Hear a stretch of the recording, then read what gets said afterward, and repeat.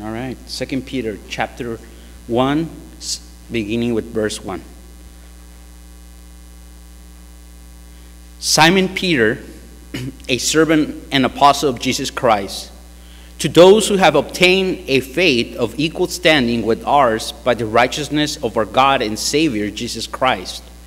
My grace and peace be multiplied to you in the knowledge of God and of Jesus our Lord. His divine power has granted to us all things that pertain to life and godliness through the knowledge of Him who called us to His own glory and excellence, by which He has granted to us His precious and very great promises, so that through them you may become partakers of the divine nature, having escaped from the corruption that is in the world because of sinful desire. For this very reason, make every effort to supplement your faith with virtue, and virtue with knowledge, and knowledge with self control, and self control with steadfastness, and steadfastness with godliness, and godliness with brotherly affection, and brotherly affection with love. For if these qualities are yours and are increasing, they keep you from being ineffective or unfruitful in the knowledge of our Lord Jesus Christ. For whoever lacks these qualities is so nearsighted that he is blind, having forgotten that he was cleansed from his former sins. Therefore, brothers, be all the more diligent to confirm your calling and election. For if you practice these qualities, you will never fall. And may God bless the reading of His word. You may be seated.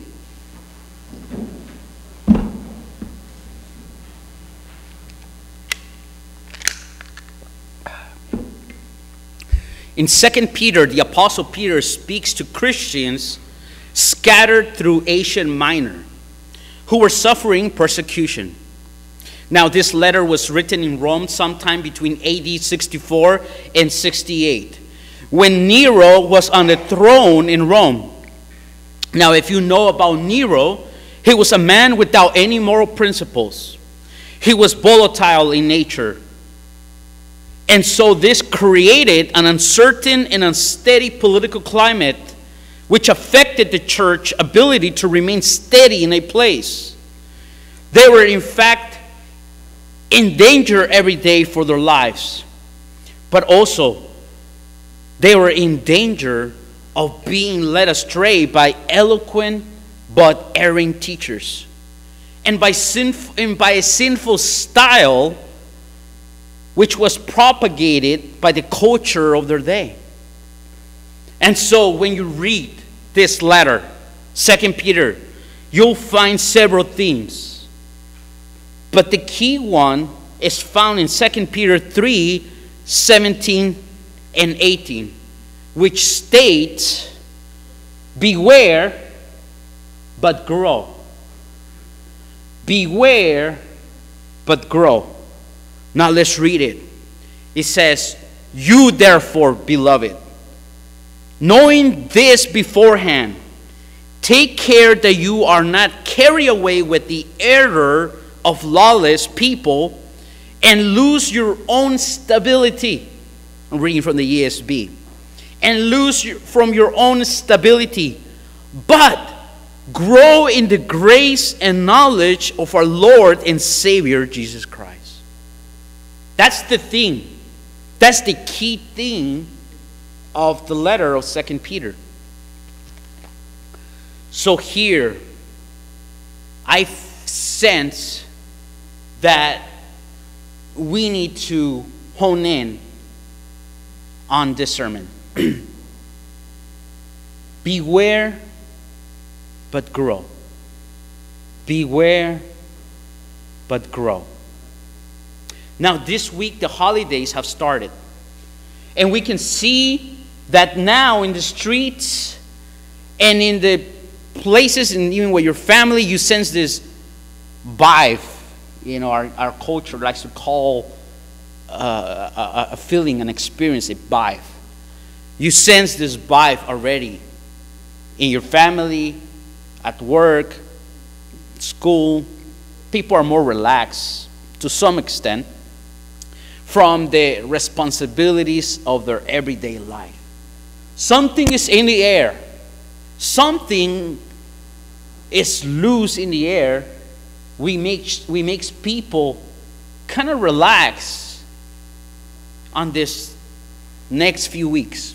They're going to relax a little bit. Your boss going to be uh, less strict when you come late from work or something like that happens. He's going to be less strict. Something is going on, something is in the air that makes people change or be different in the next few weeks. And you're going to see that more and more. But there's going to be a lot of also things that as Christians we just can't involve ourselves in. We just can't. It is what I call the spirit of this world. There is that sense right now in this time. Started it started right after Thanksgiving. Started right with Black Friday. It's going to go all the way to the end of the year. This spirit, this loose spirit of pleasure seeking, of instability, of wildness, craziness, just things that people would not normally do. They will do it in the next few weeks. They will do it, they will practice it. People get drunk more often now, and people start drinking, and just the, the spirit of this world will become very, very strong in the next few weeks. Even when I was driving from Calvary Road. There was road rage. There was cars just passing me by left and right on a regular Sunday afternoon. You know, usually you see that on, on Sunday night or Friday night, Saturday night. Well, right now it's everywhere. Just people driving like they're playing a video game. Everybody's just going back and forth. That spirit there. It's begin, it has begun and it's going to continue on to the end of the year. And it is this secular holiday spirit that we need to be aware of. We need to be aware of. So I'm taking the theme of this letter from 2 Peter 3:17 and 18 when the church, the first century church in Rome, was unstable because of this crazy Roman Emperor Nero who was unstable and suddenly will wake up in a bad mood and say, Kill all the Christians, burn the city down. He would just do anything crazy. Same spirit that today manifests itself in the holiday spirit and whatever it is, is the same spirit that Nero, Nero had when he just decided to say, let's just kill the Christians. Let's get rid of them. That craziness. So, what, how should we respond in this time, in this season, where we are, we will begin to see this holiday spirit, this worldly holiday spirit kick in? Beware, but grow. But grow. You therefore, beloved, knowing this beforehand, take care that you are not carried away with the error of lawless people and lose your own stability, but grow in the grace and knowledge of our Lord and Savior Jesus Christ. 2 Peter 3 17, 18. Now, the holidays to us is Thanksgiving, Christmas, and New Year. To the rest of the world, it's the holidays. To us, it means more than just a day to get drunk. To mean, to us, Thanksgiving is thanking our God. To us, Christmas is the celebration of the birth of our Lord Jesus Christ. To the world, it's another opportunity to, to give each other gifts and get drunk and just party. Just party. The New Year's again, to us, is another celebration to thank God for what He has done in the year and for, and for what He will do in the following year. So, in, in a way, we celebrate Thanksgiving twice if you're a Christian. We, we, what is, I mean, what do we celebrate in the new year? We celebrate the new year. And how do we celebrate it? We give thanks. That's how we do it. That's how Christians celebrate. It's not just another day to get drunk. To us, it's a day to give thanks for what He has done and for what He will do. And we spend, yes, our time with our families and everything else, and we, and we, and we love our brothers and our sisters, and we share our love, but we give thanks. We, we, we as Christians are a contrast, are a contrast to the world, and we ought to be a contrast to the world, especially in this season. Because you want to better your witness, you want to be a better witness to the world, this is how we do it. We have to be a contrast. See, the world will not see any reason to listen to you, to follow you if you ain't different. Remember, they are following the trend of the world. The world is following the world. We are going against everything that the culture, that the world is pushing in our minds, is pushing in our hearts. It's telling us this is how you had to be. We are going against it. And Peter is doing that. He's about to die. He's he, Nero, it's on his throne. He is saying, we're going to persecute the Christians, we're going to get rid of them. They're, they are dangerous. They are a danger to the state. They're the enemy. Let's get rid of them. Peter is about to be killed. And so he writes this letter in the midst of the persecution to make the Christians, to help the Christians see what they have to do, to prepare them for, for to be persecuted and to prepare them to deal with all this evil that is out there, rampant, the, the, the teachers teaching false doctrine, and, and, and the world, the Greek world, which was just a debauchery every day. They just lived and had sex, and, and, and there was prostitution. It was just crazy.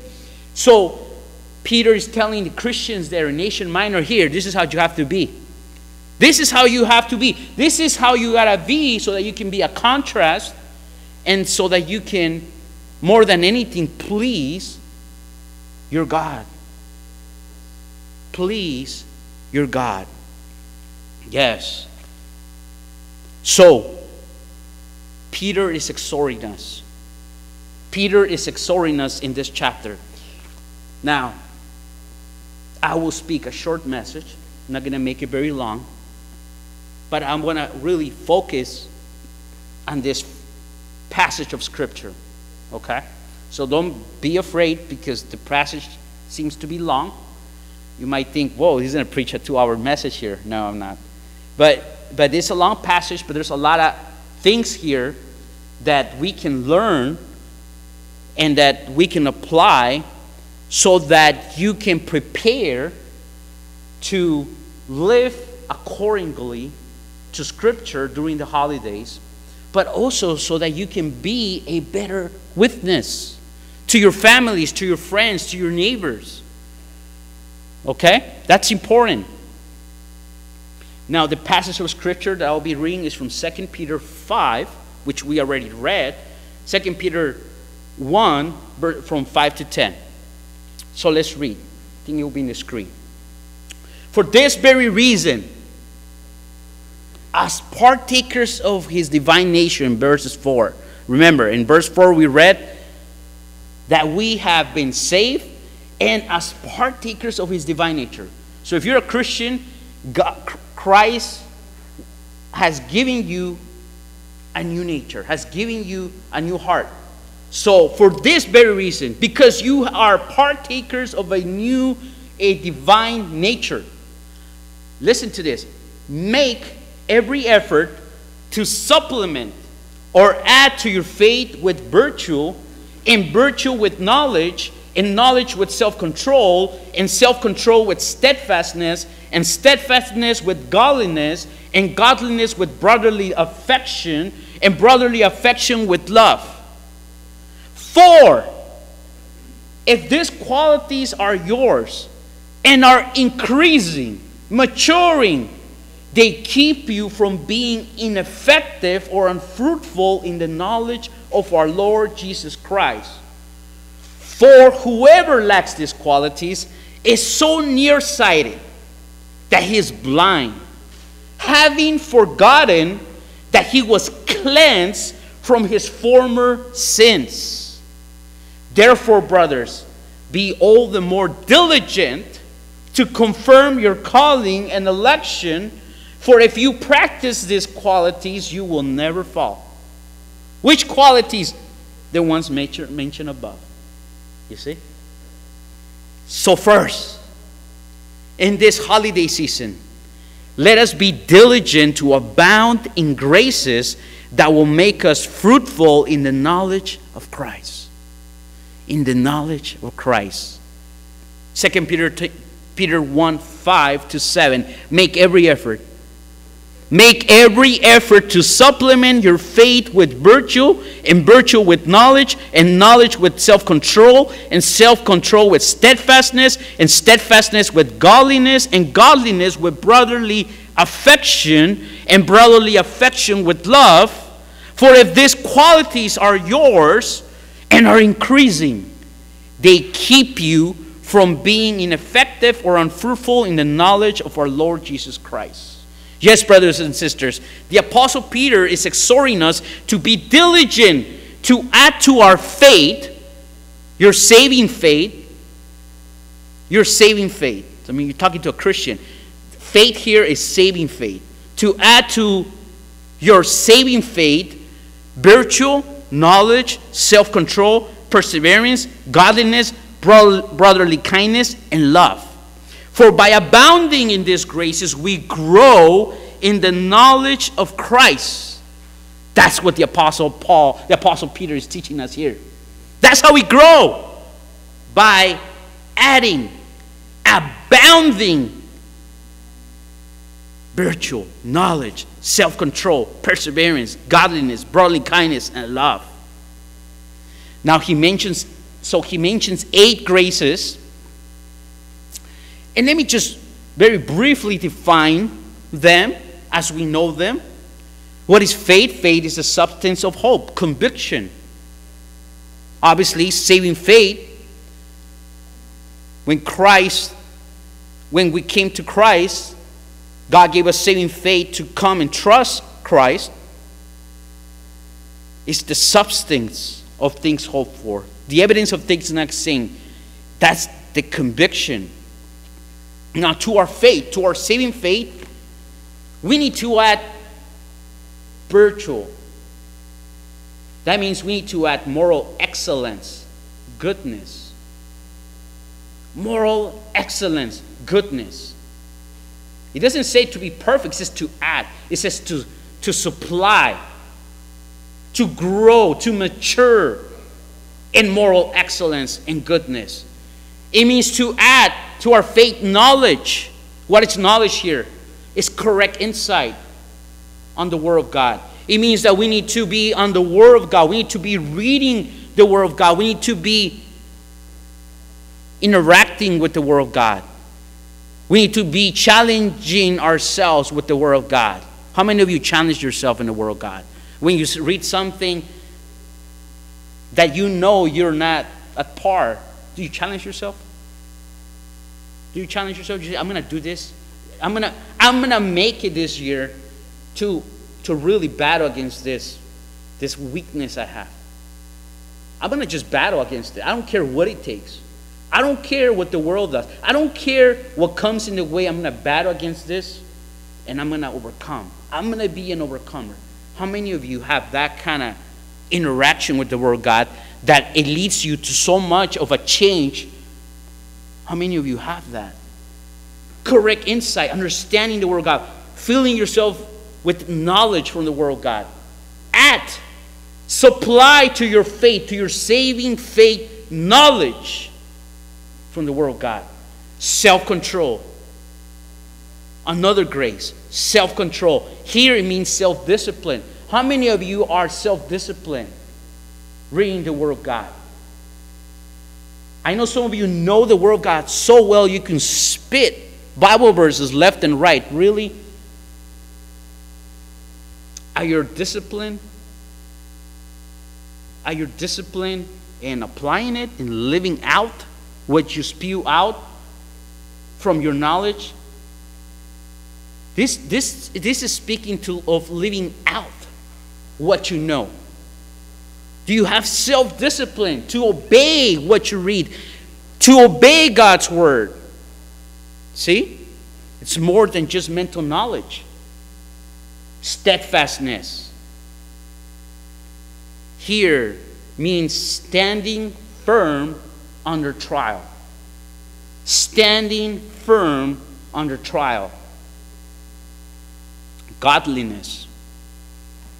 Having a godly character out of devotion to God. Out of devotion to God. Godly character.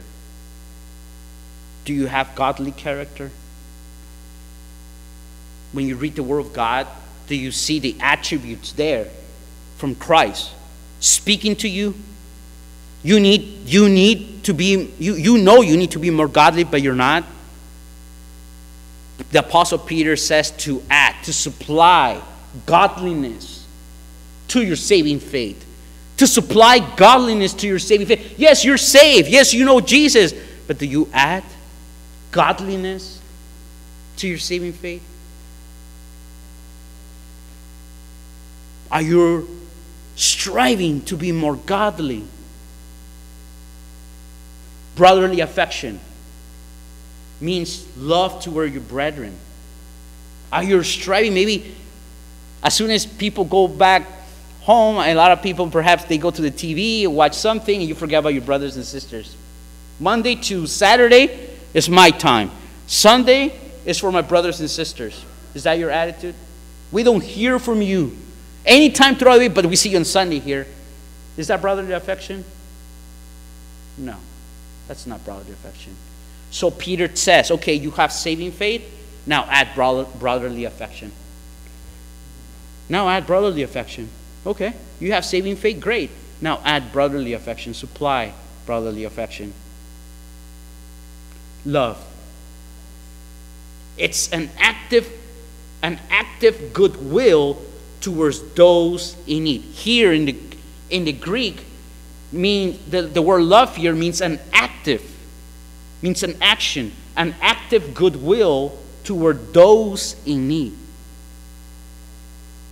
Add to your saving faith and active goodwill toward those in need. Now it says not just to add, but he said this if they increase, right? If they continually increase, right? If they continually abound,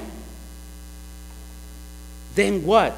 Then you will grow in the knowledge of Jesus Christ. Yes. 2 Peter 1 8 says, For if these qualities are yours, and are increasing. What qualities? The eight, the eight that I just described. If these qualities are yours and are increasing, abounding, then you are growing in the knowledge of Jesus Christ. So, in other words, we need to abound, flourish in these eight graces. And only then can it be said that we're growing. Think about it. Eight graces. And only if we are continually growing on all eight of them, then we can confirm that we are growing in the knowledge of Jesus Christ. So, growing in grace, maturing as a Christian is something more than simply increasing our intellectual knowledge. That's what Peter is confirming. We need to be abounding in these graces. Your Bible devotion, it's not going to do it. You need to indeed practice live out those graces. Now, the Bible does, does say that faith cometh by hearing, and hearing by the word of God. So we are in, indeed, obviously, we need to be under the preaching of God's word, and all of you are under the preaching, and, and all of you perhaps read your Bibles. But notice, that's just one, one of all the eight graces. That is one of all the eight graces. You're not going to grow in the knowledge of Christ by just listening to a sermon. You're not going to grow in the knowledge of Jesus Christ by doing your devotional. No. Virtue, knowledge, self control, steadfastness, godliness, brotherly affection, and love. Ooh, that's hard. You see how quickly, how, e- how quickly we can just we, we could be deceived a lot of times and we think, oh, we're, we're doing great. We're, we're showing up to church. But look what Peter is telling the Christians. We want to be like the first century church. We're trying to be like, we're trying to model. We want to be like the, the early saints that follow Christ to the cross. But the question is does you do, do you really want to follow them and are you willing to count the cost to be more like them you see peter is telling us what we need to do to grow in the knowledge of jesus christ we need to add virtue. We need to add knowledge. We need to add self control. We need to add steadfastness. We need to add godliness. We need to add brotherly affection. We need to add love. It's not enough to pat ourselves in the back and we came to church and we heard the sermon. It's not enough to just say, well, I'll show up to Central Avenue. It's not enough to say, well, I just read my devotion. Are we growing in these virtues? Are we growing in these graces? But also notice the word supplement or supply here in 2 Peter 1 5.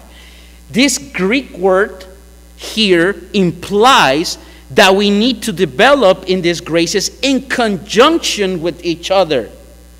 So the idea here, according to Peter, is that each grace is to temper and make perfect the grace that goes before it.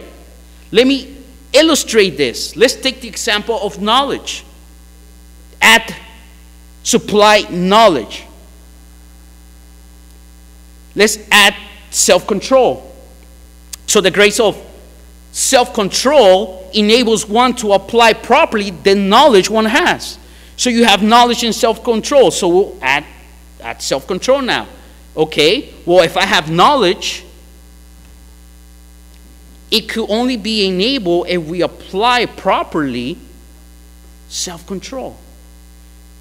And then to self control, you add or you supply steadfastness, which means that now you add consistency to your steadfastness.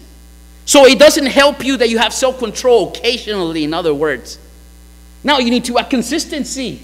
That's what the Apostle Peter is saying. Oh, yeah, I was, you know, I handled the situation pretty well. I was in self, I, I was under control. Really? It says consistency. Now, now, to your self control, you need consistency. Add steadfastness. And then it goes on from virtue to knowledge, self control, steadfastness, godliness, brotherly affection, love.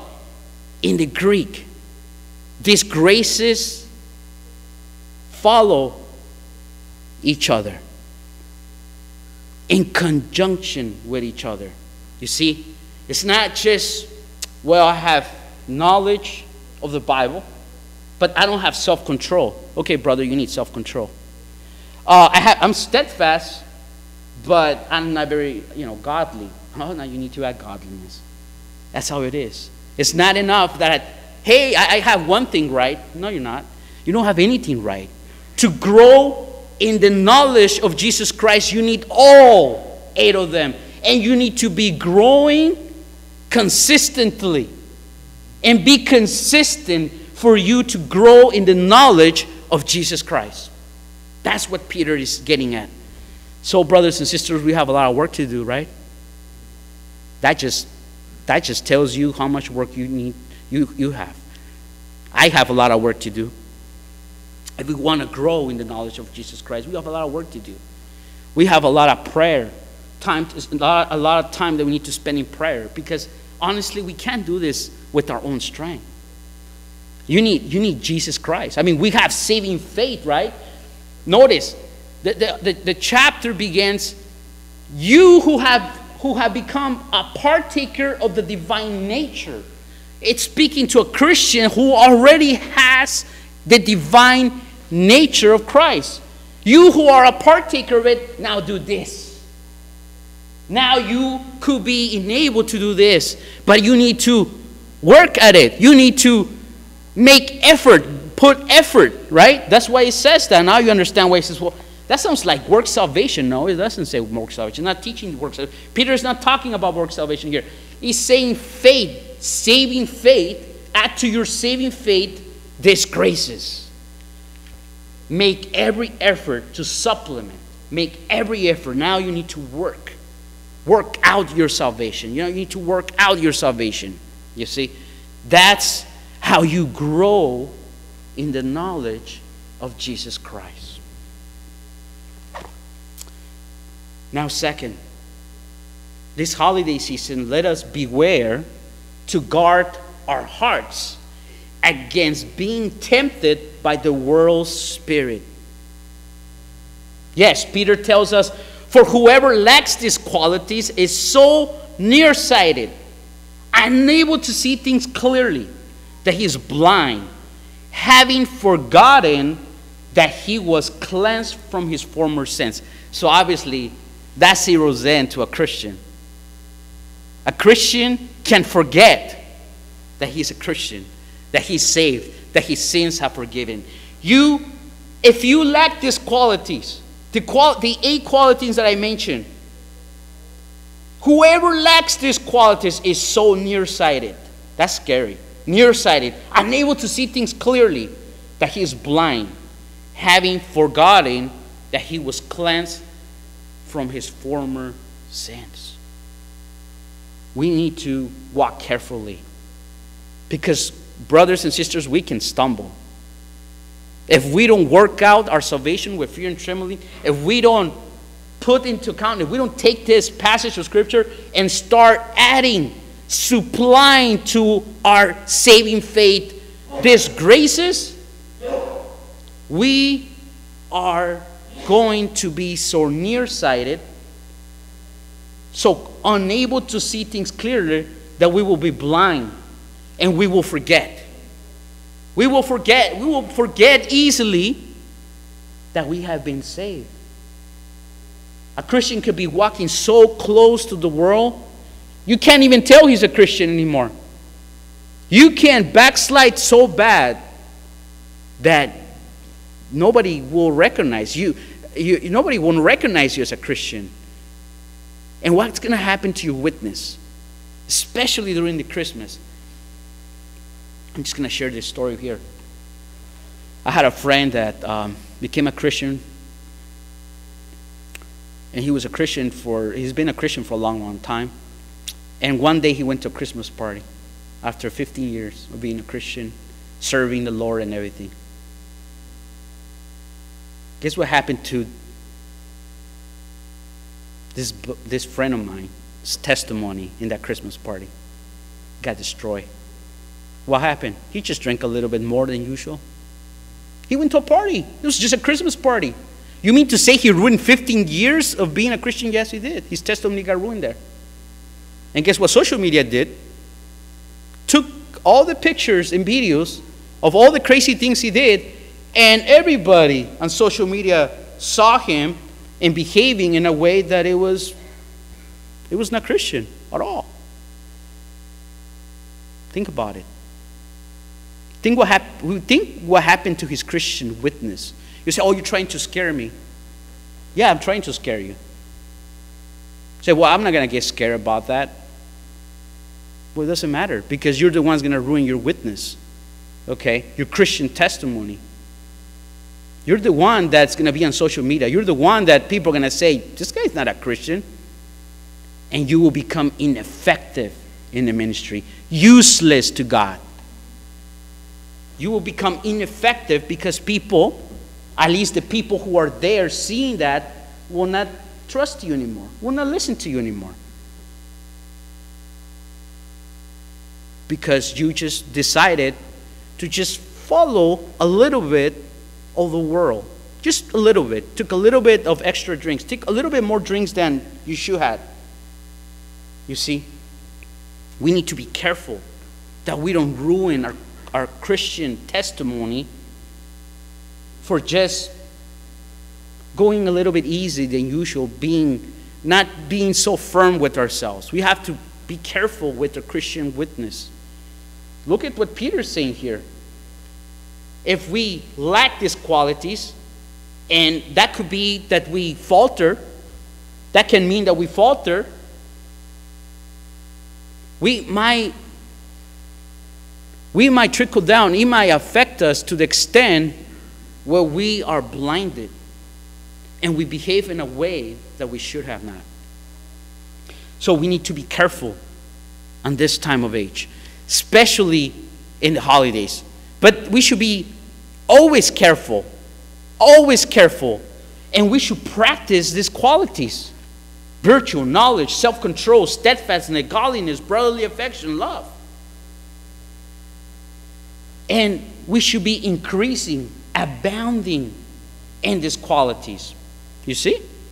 If we do that, we will grow in the knowledge of Christ but not only we will grow in the knowledge of Christ, we will be a better witness. We will be a more effective witness as we try to win our loved ones, as we go out there and we preach the gospel, as we go out there and, and, and, and, and just be sold out for the ministry. As we do that, okay, as we do that and we practice these graces, we will be more effective. People will respond, will see our brotherly love, our consistency in what we preach, consistency in what we say as we walk the talk. Very important. We should not forget for the reason for the season. We should not forget that. I know my, some of my relatives are going to celebrate their holidays. But I'm not going to be afraid to bow down and pray for the food. If they don't want to do it, that's fine. But I'm going to do it anyways. I'm not going to shy away from when people ask me on Christmas, What are you celebrating? I'm celebrating the birth of my Lord Jesus Christ. My Lord Jesus Christ. I'm not going to be afraid of that. If they want to celebrate something else, that's fine. But I'm celebrating the birth of my Lord Jesus Christ. Let's, let's, let's be an effective witness. And then love them. And when they see that, hey, we differ here, but man, that brother really loves me. You know, he really cares for me. I mean, he goes out of his way to go get a bunch of cokes, and, and he went out of his way to get the chicken, and he went out of his way to love me now they're going to be like, well, he's, he's a devoted Christian and, you know, he's religious. I'm not. He's fanatic. I'm not. But, you know, he, he I mean, I want to invite this guy here because we really have a good time. He really cares for us and loves us, right? We want to be an effective witness.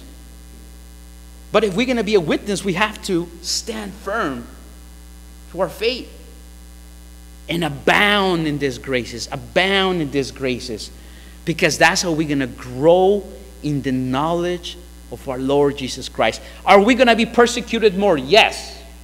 But are we going to be more effective? Yes. Okay? Yes, we're going to be more effective. When you are persecuted, it means you're effective.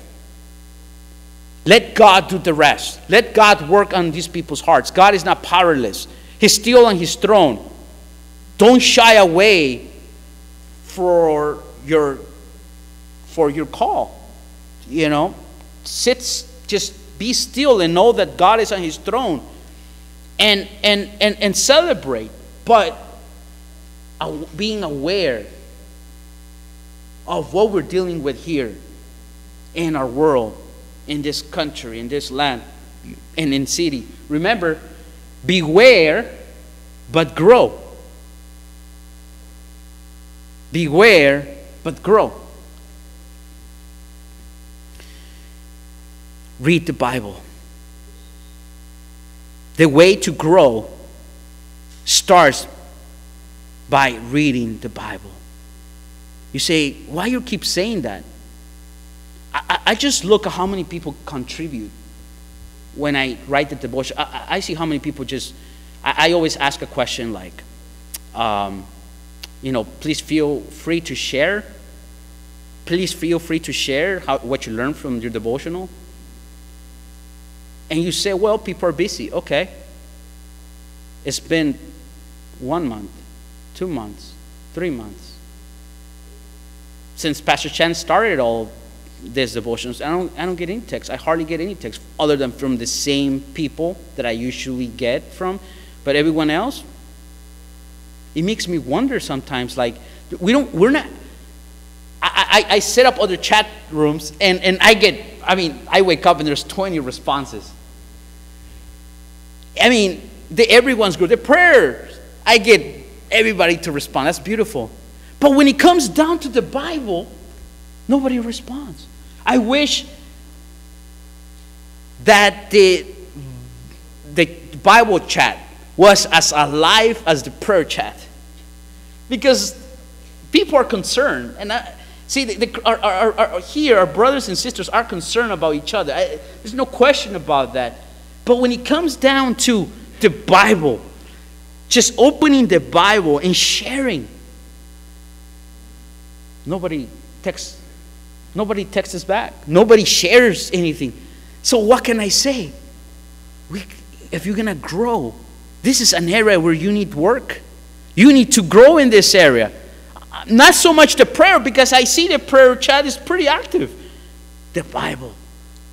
Why are you not active, as alive when it comes down to your Bible readings, to Bible devotionals. Why? Are you reading your Bibles? Are you not? You're not going to grow. Remember, one of the graces is knowledge. You're not going to have correct insight. You're not going to have correct discernment on how to help people, on how to make disciples, on how to witness, unless you get that right. I'm not here to hammer you on every point. I'm here to hammer you in where you're weak at. You are not as alive, as vibrant in your Bible devotionals. Because if you were, you would, you, I mean, you can't help it. But to put it online, to have your brothers and sisters hear it. When I prepare a sermon, I'm excited about preaching. Even if my English is not the greatest, I'm excited about what I learned. Why are you not excited about what you learn? Why? That's our weakness here. If you don't believe me, go to the chat and read it and see if you find yourself somewhere there. No, that's a weakness. We need to grow in that area. And Pastor Chan set all this is up. I'm so happy that he just saw it from the beginning. Brother, we, we, are not going to grow and we're not going to be effective in, in our witness if our brothers and sisters do not know the Bible. You can't discern. You're not going to know God's will if you're not reading the Bible. You see? That's our weakness. Prayer's great. Bible reading? No. We need to really work at it. As you get, as you know, as you find out more in the Bible about Christ, you will fall in love with Him more and more. You will grow in your faith. You will see things that you didn't see before. You will get cl- clarity in your walk with Christ. You will see error in the world, you will know how to walk, what to do in every situation because you are in the Word. That's one of the graces that Peter makes that clear. There's eight graces. We need to grow in all of them. But this is where I see a problem here collectively, corporally as a church in a Bible devotions. And I'm sure Pastor Chan will agree with me on this point. Okay? We need to grow in this area. All of us need to grow. And don't be afraid.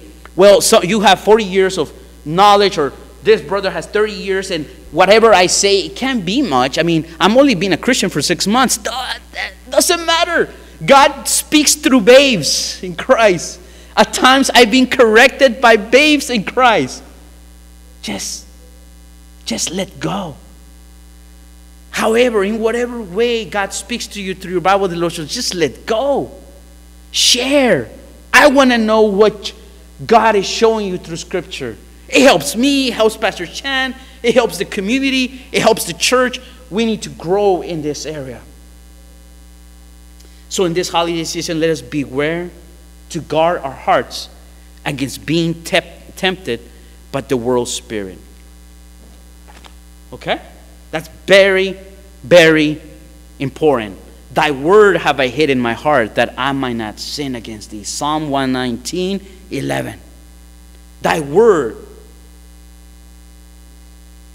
the Word of God have I hid in my heart that I might not sin against thee. How are you going to hide the Word of God in your heart if you're not reading the Bible?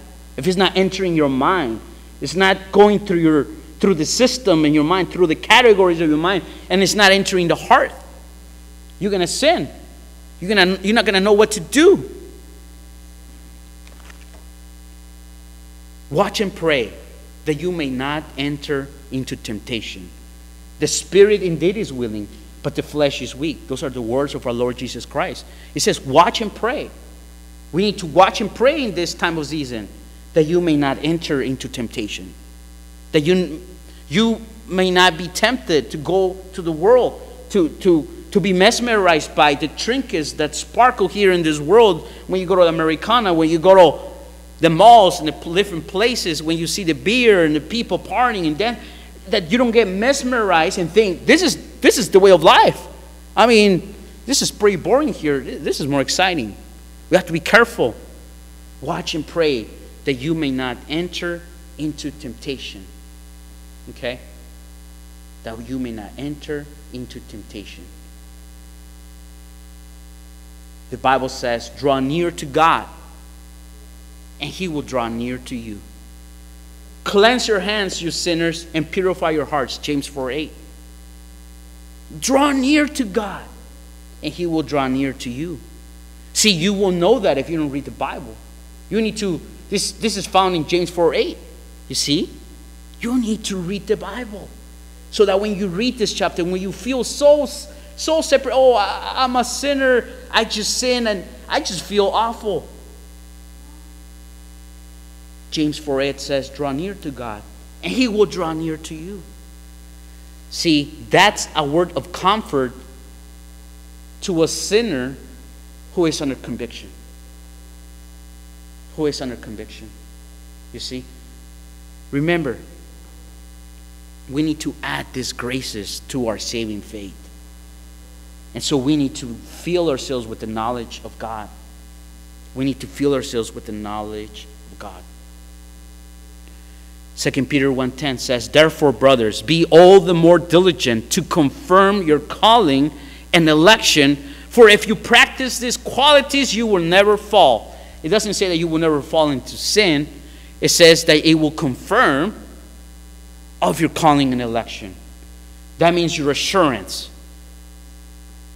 It will confirm your calling and election. And that what does that do? It, it gives you assurance.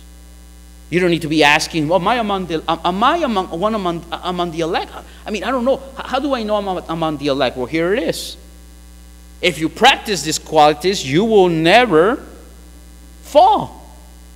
It will become an assurance. It will be an assurance to you that you're among the elect. Because you are growing in the knowledge of our Lord Jesus Christ. And the evidence of that knowledge is reflected in practicing these qualities. as a style of life. Not one day and then six months later I'll do another one as a style of life. You need to grow and keep growing, keep increasing. Okay, that's what Peter is telling us here. So, I hope this sermon was helpful to you. I really pray hard for this sermon as I prepare for it. And I say, I was thinking about every single one of you. What is one thing? I mean, there's eight graces, there's, but what is one thing that our people need? And you can see how space minded I am because I had to really pray and think about it, even though it was right in my phone. And, I, and then God told me, look at the Bible, the Bible chat. And I saw and I go, oh, I don't need to ask any more questions. I, I, I don't need to. I, I know what the problem is. And this, it, it, we have to grow in the knowledge of our Lord Jesus Christ. We need to grow in, read, in, in the Bible. We need to know this book. We need to know it. And we need to live it. Or we won't be an effective witness and we will be all tossed to and fro. We will lose our assurance. We're not going to know if we're safe or not. We're going to be asking, we're just going to be all over the place. We need to be grounded in the Word. We need to m- make it a habit every day to, to interact with the Word of God. And everything else in, in the eight, there's eight graces there. We need, to, we need to keep increasing, growing in all these things. But as a church, corporately, in the Bible, in the Bible, in keeping up with our Bible readings, in our devotional, in our time alone with God. That's very important. And I want to end here. I know that some of you here do not know our Lord Jesus Christ. My question to you is Are you prepared to meet thy God? Are you prepared to meet your God? He is your God, even if you say, Well, I'm not saved. He couldn't be my God. No, He's your God still, even if you're not saved. Are you prepared to meet thy God? The Bible says, the Bible teaches that you are going to die, and one day you will face God. Are you prepared to meet thy God? If you're not, I want to speak to you. I just want to speak to you, have a conversation with you. It won't be long. And and let's talk about it. Let's talk about it. And that's where I will end. Let's stand and pray. We'll prepare our hearts.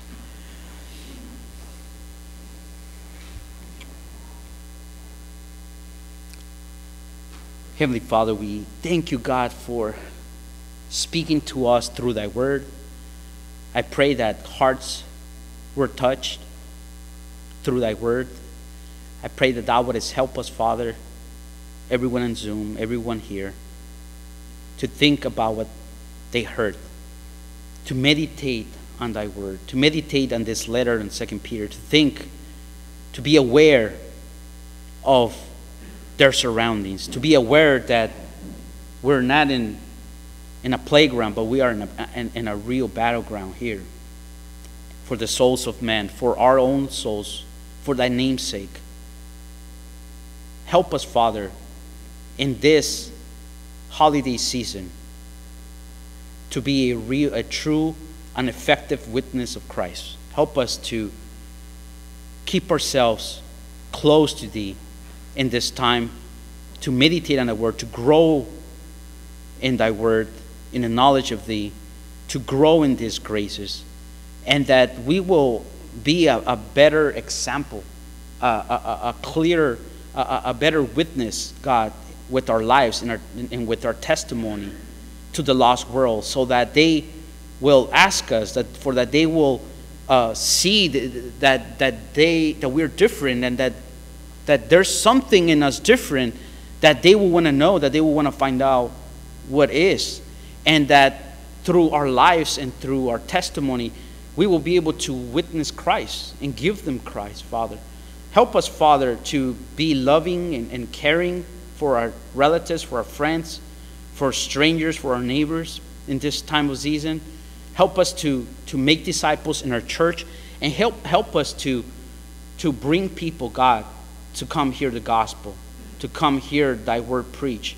Help us, bless us, and when we go to the college campuses this week, when we go to Central Avenue, when we go to different places, help us to keep these eight graces in mind and help all of us to grow like thou hast commanded us to grow and to live out these graces and to grow in the knowledge of our Lord Jesus Christ as we read thy word, as we engage with thee through thy word, because we ask these things in Jesus' name.